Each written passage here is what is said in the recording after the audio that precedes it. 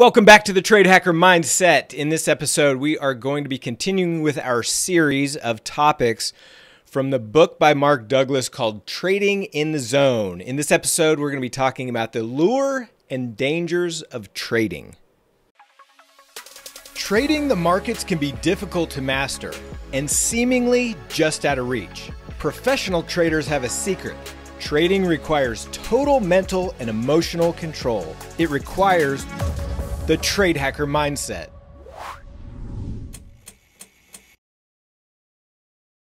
All right, so let's jump into our discussion of the lure and dangers of trading and talk about why so few people become successful at trading, even if they've been accomplished or successful in other careers or other areas of their lives. So to start with, what is the attraction of trading? You know, what what drew you into trading to begin with? Was it the was it the action of the market? Was was it your desire to be a hero? You know, I, th- I think back to when I first started trading, and I think that kind of desire to be a hero, if you want to put it that way, is interesting. Uh, it wasn't like I was I was trying to necessarily be a hero in the sense that that most people think about it, but I certainly thought that it was really cool that somebody could sit in front of their computer and analyze the market moving and profit from that in a way that other people couldn't. So, from that perspective, I just was fascinated by the fact that people could do that, that some people could and some people couldn't. So, I guess that would classify as desire to be a hero. Also, euphoria. When you make a winning trade, when you make money from simply clicking a mouse, it can create a real sense of euphoria. But I think the absolute ultimate reason that the majority of people get into trading is for the aspect of freedom, right? It's the financial freedom. So you don't have to worry about paying your bills. It's the location freedom. You can work, you know, as long as you have an internet connection and a laptop, you can literally trade from anywhere in the world. And for those of you who work for somebody else and maybe you hate your boss or you hate the people you work with, it creates that freedom of working for yourself by yourself, not having to deal with working for somebody else. And it gives us the freedom to express ourselves in a way that we might not be able to in other professions or other areas of our life. You know, if, if you're like me, you know, I've been I've been self-employed, I've been an entrepreneur, my I've been a trader my entire life and so part of the attraction for me is that I don't I don't like to play by other people's rules. I like to make my own rules. And when it comes to trading the markets, we literally make all of the rules for ourselves. Now, of course, you know, you've got to meet financial minimum requirements to open a brokerage account. But otherwise, once you're ready to start trading, the, the possibilities that exist for how you go about doing it are, are really limitless. You know, you can trade bonds, you can trade stocks, you can trade options, you can trade futures. You know, there, there are so many different possibilities. You can do spreads, you can sell premium, you can buy options. You know, there's there are limitless ways that you can trade. So if the trading environment is so unrestricted, then why is the failure rate so high? You've probably heard statistics like 90% of traders fail within the first 12 months. And the reason is is because if you have unlimited possibilities, and you have unlimited freedom to take advantage of those possibilities. That's like no other environment that we're used to as human beings. So this is going to create psychological challenges that, that very few people are actually properly equipped to deal with. Or frankly, they don't really have even the awareness that it exists. And how are you supposed to overcome a problem if you don't even know that that problem exists? So, this freedom, this concept of freedom, that's fantastic. Freedom is great. But most people just don't have the mental framework to operate in an environment with so few boundaries. So let, us take a step back. Let's go back, you know, deep into your childhood and kind of figure out, okay, why are we the way that we are? Everyone is born into some sort of social environment, right? And when I say social environment, that could be a specific family, a city, a state, a country, a culture, a structure. And every environment has some type of restrictions and boundaries or sets of beliefs that create this behavior that we live in. And this structure, this code of behavior, it, it limits individuals and how they can express themselves. And these structures were, were established before we were even born. And so when we show up in this world, all of these things are already in place. And so it's it's pretty easy to see why a, a certain individual's need to express themselves can conflict with what's already in place with the culture that we're born into. And as a trader, we, we face this, this kind of fundamental conflict as well. So think about this. Ask yourself this question What's one characteristic, what's one form of personal expression that every child born on this planet, regardless of their culture or race or color or location, what is one characteristic that every child has?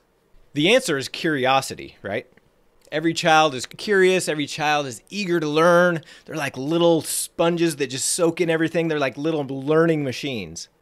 If, if you have kids, you'll understand what I'm saying. But even as infants, kids seem to kind of know what they want and what they don't want you know, if you have kids, I'm sure you've uh, you've had an experience where, you know, your your child who's just an infant, they do something or they express themselves in something that they want or don't want, and you kind of look at your spouse like, how do they know that they want that? And that's just the the natural inner force that they have that every child has when they're born. So we all have these natural attractions to certain things, and there's certain things we we love, we're attracted to, and there's certain things that we that we are not attracted to, and sometimes that comes as an innate kind of we're we're born with that type of force within us. You know, if you think about it, I'm sure you could list out a lot of things that you have absolutely no interest in. You could probably make another list of things that you're sort of interested in. And then lastly, you could make a list of everything that you're just absolutely super passionate about. And usually on that first list, the, the, the list of things that you're not interested, that's probably a pretty long list, right? And then the things that you're that you're somewhat interested in, that list gets a little bit smaller. And then the things that you're absolutely just extraordinarily passionate about, that list gets even more narrow, more small.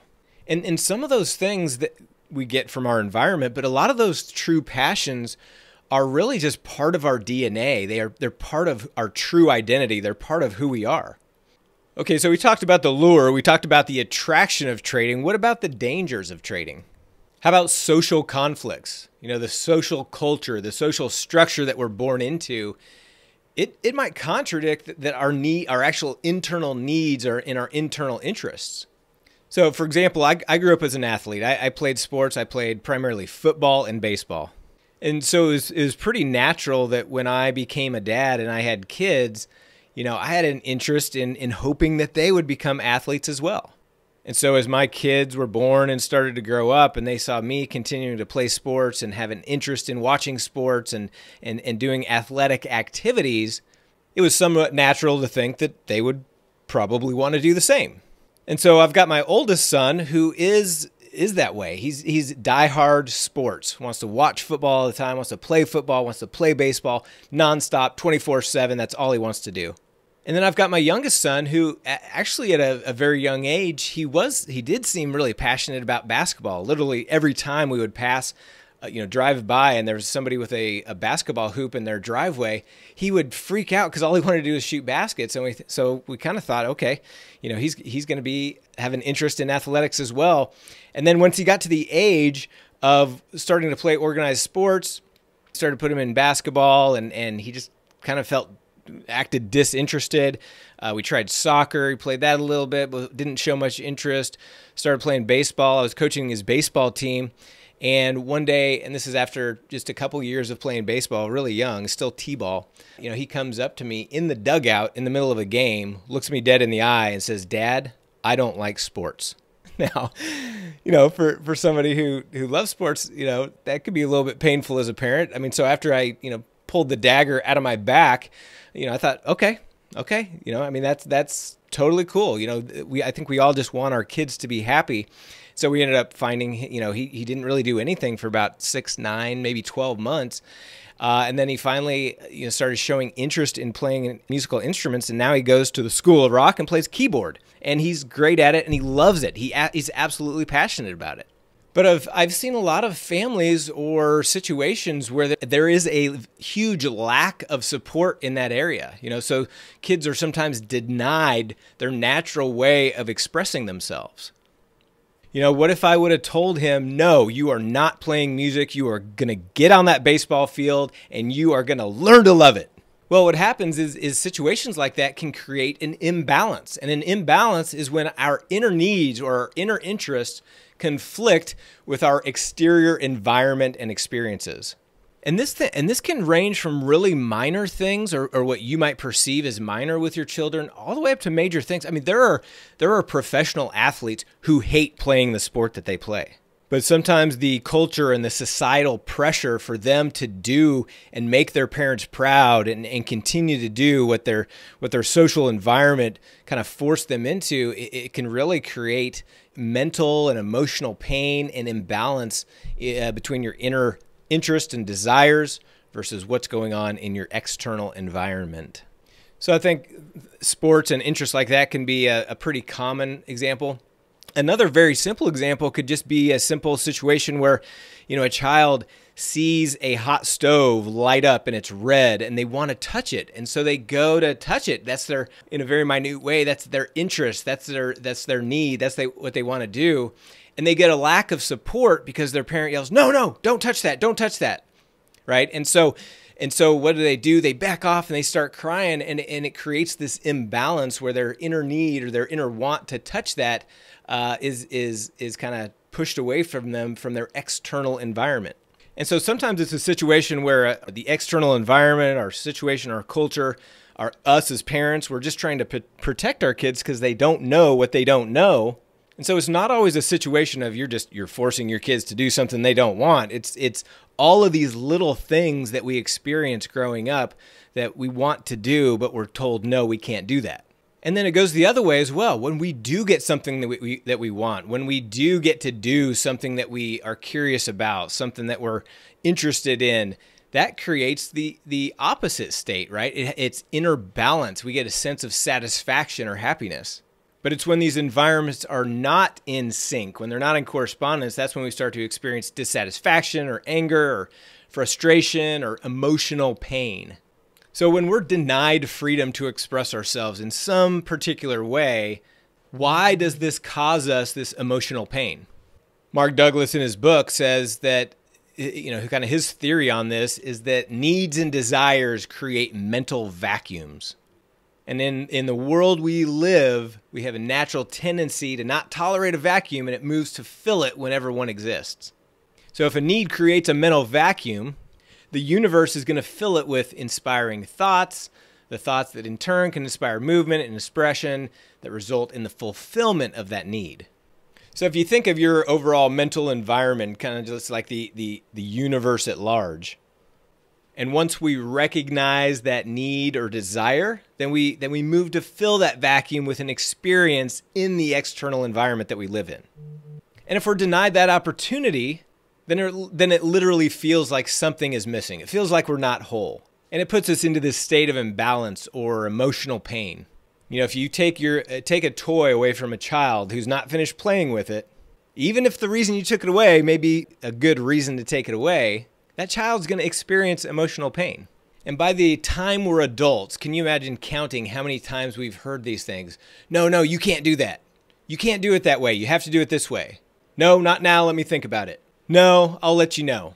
It can't be done. What makes you think you can do it? You have to do it. You have no choice. All these things that we hear growing up from our parents, from our teachers, from our coaches, from, you know, anybody in a position of authority. We literally hear thousands and thousands of denials by the time we become adults.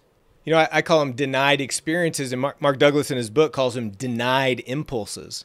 So, what happens to all these denied impulses that, that don't get fulfilled? Do they just go away? I mean, sometimes they can if, if they're reconciled in some way. You know, if we do something or if somebody else does something that kind of puts our, our mental state back to balance, back into a balance, you know, a simple thing that a child does is they just simply cry, right? That's that's kind of their their strategy for creating that, uh, you know, getting back into balance. That's their that's their mechanism that they use to get back into balance is simply just to cry.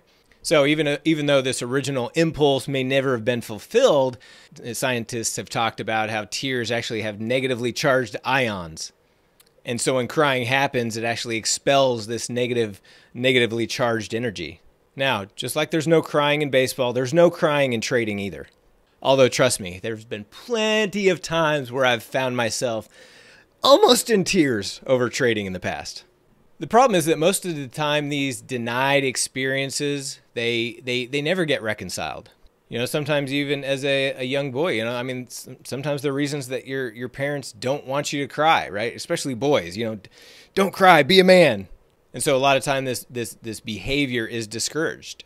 And there's a lot of times where, you know, parents don't even bother to explain to their children why they're being forced to do something that they don't want to do. I mean, I'm guilty of this just just as everybody is. The reason you you can't do this is because I said you can't do this, right? Even if you do try to explain it to a child, you know, there's no assurance that it's actually going to be effective enough to to reconcile that imbalance that's going on in inside that child. So if these impulses, if these desired impulses, if they're never reconciled, then they usually start kind of manifesting themselves inside of people. And sometimes it creates an addictive or a compulsive behavior pattern. You know, I'm sure you've seen many people who something that they were deprived of as a child later in life actually becomes an addiction of theirs. You know, we all know somebody who who always has to be the center of attention. They always need to have everybody paying attention to them. And most likely it was probably because they were deprived or they didn't feel like they got enough attention when they were kids. And so this deprivation becomes unresolved, kind of emotional energy within them that, that makes them behave in ways that they're going to try to satisfy this addiction. And maybe that doesn't apply to you, or maybe it does, but but regardless, what's important is that we understand that, that we all have these unreconciled, denied impulses. All of us have them inside of us. And all of these things affect our ability to stay focused, stay disciplined, and relating it back to trading. I know I kind of went off on a tangent, but this all relates back to how we make decisions and how we control our discipline when it comes to trading. It goes that deep. It goes that deep into our childhood uh, and all the experiences that we've had and our denial of these impulses that can have a major, major effect on our trading. All right, so enough about your childhood. Let's let's jump more back into trading. So to, to operate effectively in this trading environment, we have to set rules. We have to have safeguards, and we have to set rules that we're actually going to follow. Because if we don't set these rules, if we don't follow these rules, you can really create enormous damage that we can do to ourselves, both mentally and financially. So to prevent this possibility of our of exposing ourselves to damage, we have to create an internal structure. We have to create a, a special mental discipline. We have to create a, a perspective about the markets that guide our behavior. And we have to set these up so they guide our behavior in a way that creates value in our own interest, for our best interest.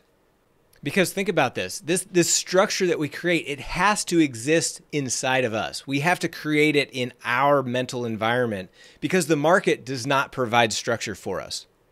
Remember like what I said in the beginning, the market has limitless opportunities. There's limitless ways to trade. So it does not provide any structure. We have to create that structure for ourselves. Think about it. The market's like a stream. It's constantly in motion. Even even if they're closed, even when the market's closed, prices are still in motion. And the reason people can come from other professions that they've been super successful in, you know, super successful doctors or entrepreneurs or lawyers or whatever it might be, and they come to trading and they get their asses handed to them. And the reason is is because in the in the markets it's a boundaryless environment. There's nothing else that we do in our society that, that prepares us for this boundaryless environment. When you're a trader, there's there's no one except yourself that's going to force you to decide in advance what your risk is. Remember, every trade has a probable outcome. Therefore, there you know, it could be a loser. There is no trade that's a guaranteed winner. And what separates winning traders from losing trader, traders is that the consistent losers do almost anything to accept the reality that no matter how good a trade looks, no matter how good the setup is, there's still a possibility that that trade could lose. And so without this structure in place, you know, a losing trader is going to be susceptible to a lot of justification, rationalization, Because if he's thinking that he can't lose, then there's no reason to define in advance what his risk will be. And if you're not defining what your risk in advance will be, then there's going to be problems for you as a trader.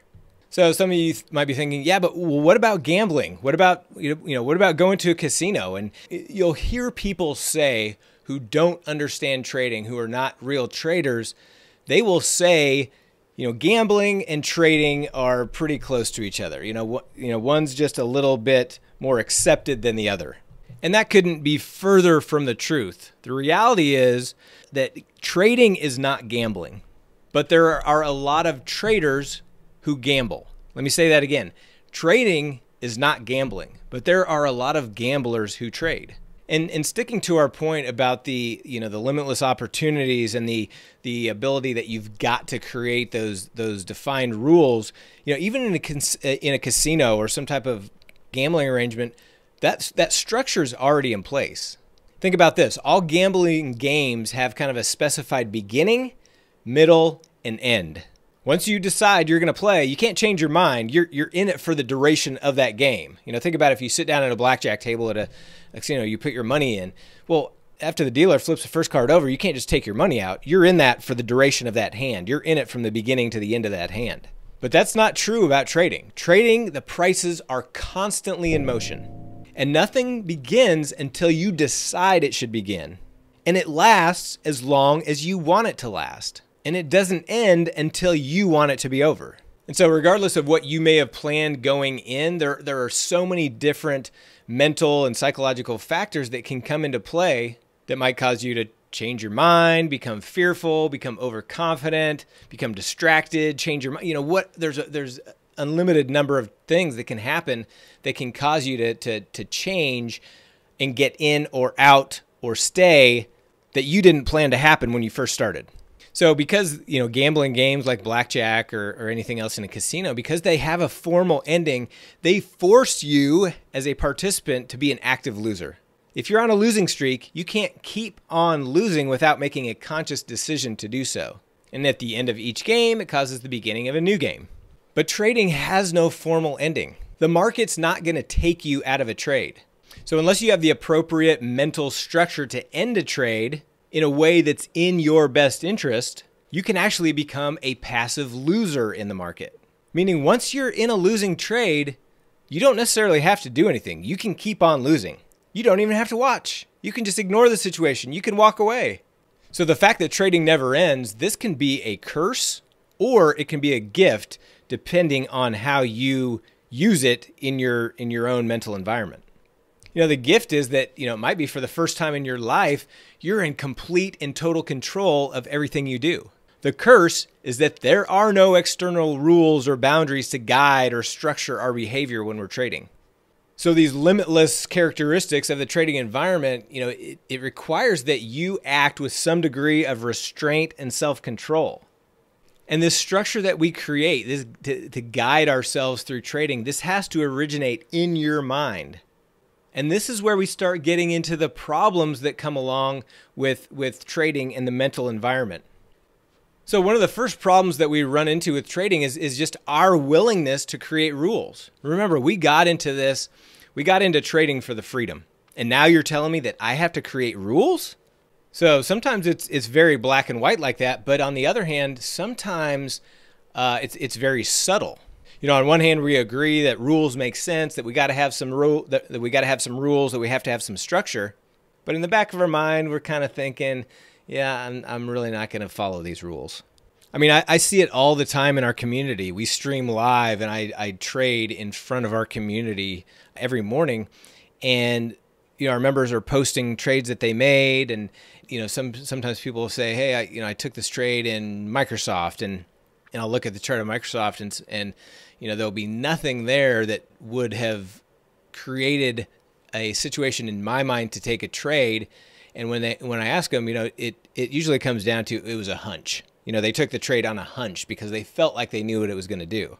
But that didn't follow the rules. We have very strict criteria that we lay out step by step for for how and why we take trades.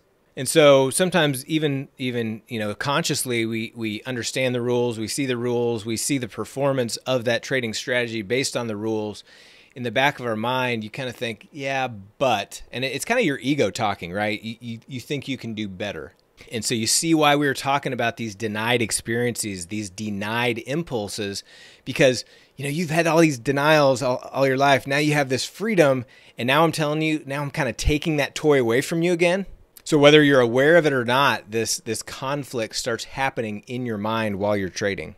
In other words, the very reason we are attracted to trading in the first place, which is the unlimited freedom of expression, the unlimited freedom of potential financial gain, the, the location independence, the freedom of being able to trade from any, anywhere in the world. This is the same reason that we have this natural resistance to creating the rules and boundaries to, to really guide our trading behavior. It's like when we first start trading, we found this utopia of freedom, and then you have someone saying, uh, actually, you've got to follow these rules. It's not as free as you think. And most traders understand that the need for rules makes sense, but it's it's difficult to create that motivation. It's it's difficult to create that structure in our own mind when we know that nobody else is making the rules for us. One of the other major problems that we face as traders is the failure to take responsibility. Because remember, trading is a it's a pure, unencumbered personal choice and it has an immediate outcome. Remember how we talked about the example with the stream that's never ending, the market's always flowing. Remember, nothing happens until we decide to start, and it lasts as long as we want. And it never ends until we decide to stop it. So while we may want this freedom, we want this ability to make these choices, that doesn't mean that we're always ready and willing to accept the responsibility for the outcomes of trading. So, if you're not ready to accept that responsibility, then you might find yourself in a little bit of a dilemma. And that dilemma is how do you participate in an activity like trading that allows complete freedom of choice and at the same time avoid taking that responsibility? If the outcome of your choice is unexpected, is risky or it's not to your liking. The reality of trading is if you want to create that consistency, that consistent profit that every trader strives to get, you have to start with the premise that no matter what the outcome of trading, it is completely your responsibility. And one of the reasons that that very few people uh, succeed in trading, even if they've been successful in another career or another endeavor, is because very few people want to take on this level of responsibility. And so when you become a trader, it's a little bit of a foreign concept. And the way to avoid this responsibility is, simply to adopt a trading style that is basically random. And when I say random, I'm not talking about the potential randomness of the market. I'm talking about random trading styles like poorly planned trades or trades that are not even planned at all or really just an unorganized approach that doesn't take any any structure into consideration. Mark Douglas says randomness is unstructured freedom without responsibility. I think that's a perfect way to put it. Randomness is unstructured unstructured freedom without responsibility. Because think about this when we trade with a, a well defined trading plan, but we have unlimited sets of variables in the market, it can be very easy to take credit for the trades that turn out to our liking, the trades that turn out well, but it's easy at the same time to avoid taking responsibility for the losing trades. So remember, the market the market creates these patterns that repeat themselves over and over again. So even though the outcome of a pattern can be random, the outcome of a series of patterns over many, many occurrences can be statistically reliable. So, as an example, think about just flipping a coin, right? Theoretically, flipping a coin is a 50 50 probability. 50% of the time it's going to land on heads, 50% of the time it's going to land on tails. But if you flip a coin 10 times, you know, there's there's a decent chance, not a decent chance, but there's a, a significant chance that you could get eight heads and two tails, right? But does that does that have anything to do with over the long run? Because if you flip a coin a thousand times, there's a much higher probability chance that you're going to end up getting close to 50% heads, 50% tails. So when it comes to trading, you have this randomness on individual patterns, but you have this statistically significant uh, structure of patterns over a long time. So this kind of creates a little bit of a paradox in our mind, but it's something that can be resolved very easily if you have the discipline, if you have the organization, if you have a very consistent approach to your trading. So tell me if this fits you. I've I've worked with a lot of traders in our community, interacting with traders, and I've I've seen, you know, all kinds of market analysis and extensive planning for trades that they that they plan on taking. Maybe it's the next day, but then instead of putting on the trades that they actually planned, they did something completely different. You know, maybe you were watching CNBC that morning and you got this tip that you thought was great, or you jumped on Reddit and Wall Street Bets and you found the next big, big YOLO stock. And then think about what happens. You jump into this new idea that you just came up with uh, at the spur of the moment. And had you stuck to your plan and had you actually made the trades that you're going to make, they would have turned out much, much better. You know, this, this is a classic example of how we become susceptible to unstructured random trading. And what's even worse is if that random idea that you just picked up that wasn't part of your planned strategy, if that trade actually works out, that just fuels your mind thinking that it's okay to trade that way. And then going back to our point about responsibility, if we trade our own ideas, if we trade our own planned market analysis and strategies, then our personal reputation is on the line in our minds, in our ego. We are now responsible for those. But if we take the idea of somebody else, we can always blame them because, oh, I shouldn't have taken that trade. It was their fault and not mine. However, that's why it's it's difficult for some people to take their own trade ideas. They want to they want to take the trade ideas of somebody else and that's because they don't want to take personal responsibility. I see this all the time in the community where I talk to people about we're teaching you how to trade. We're not trying to build you up as a copycat trader where you're just copying the exact trades we take. We're trying to teach you how to trade so you can take ownership of your trading. And it all comes back to this concept of taking responsibility. Another problem that we face as traders is what Mark Douglas describes as an addiction to random rewards. He talks about some of the studies that have been done on giving random rewards to monkeys.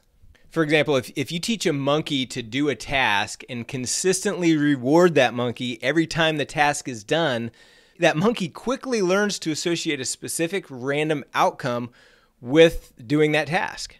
And to take it a step further, if you stop rewarding that monkey for doing the task, then it doesn't take very long for that monkey to simply stop doing the task. The monkey doesn't want to waste energy doing something that it's now learned it won't be rewarded for.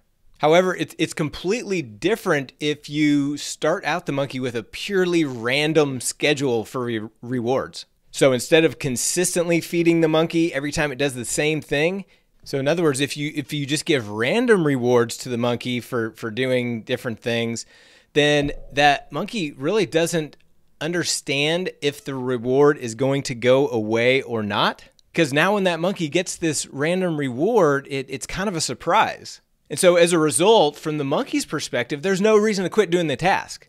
So sometimes the monkey will keep on doing the task even without being rewarded, and, and sometimes they'll continue to do it indefinitely. So it's actually it's actually just a natural human behavior that we get addicted to random rewards. And probably part of it is just the kind of the uh, serotonin, I think is the right word that, that that's released in our brain when we get this kind of euphoria type situation that comes from when we get kind of a surprise or an unexpected treat. So if a reward is random, we never really know for sure when we might receive it. So many times we'll, we'll continue to expend energy and resources in the hope of experiencing that feeling again. And think about it. This is this is why a massive amount of people play the lottery you know they may have got one of those scratch and win tickets and they they won something. They've they got that they got that dopamine that, that serotonin. I, i'm not sure if i'm using the right word there but one of those two. And you know they get that euphoric state in their mind from winning and they didn't really have to do much to to get that. And so they continue to do the same thing. They continue to buying lottery tickets hoping that you know they might hit the big one or they might get that another uh, another win to keep that euphoric state of mind going problem is if we expect a particular outcome and it doesn't come, then we get disappointed. We start to feel bad. We start to feel disappointed. And if it keeps happening, then a lot of times this is when we just completely stop.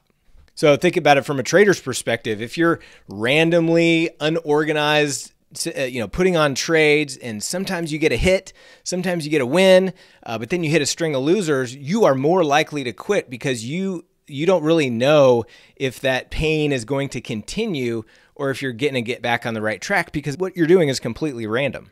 And if you as a trader have this addiction to random rewards, then it's, it's going to be another wall. It's going to be another resistance to creating that consistency that we want as a trader. All right, so the last problem I'm going to talk about in this episode is the external versus internal control.